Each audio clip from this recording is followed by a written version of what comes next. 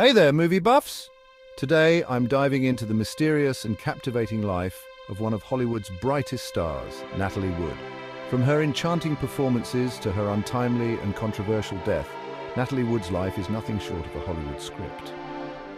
Born on July 20th, 1938 in San Francisco, Natalie Wood was destined for stardom from the get-go.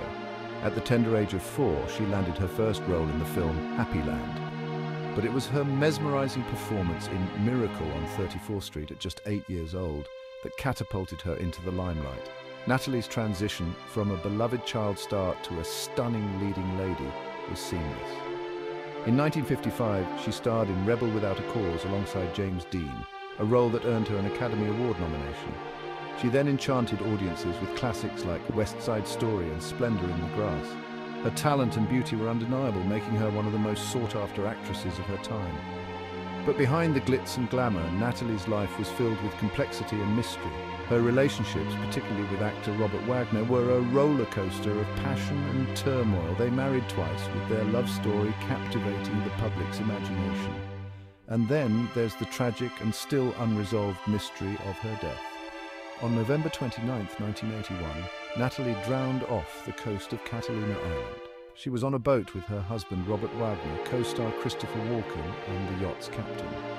The circumstances surrounding her death have been a subject of speculation and investigation for over four decades. Was it an accident? Was there foul play? Even after numerous investigations and changing testimonies, the truth remains elusive. In 2018, the case was reopened and Wagner was named a person of interest. Yet the mystery endures, adding a haunting layer to Natalie Wood's legacy. Despite the enigma surrounding her death, Natalie Wood's legacy as an actress is indisputable. She left an indelible mark on the world of cinema with performances that continue to resonate with audiences today.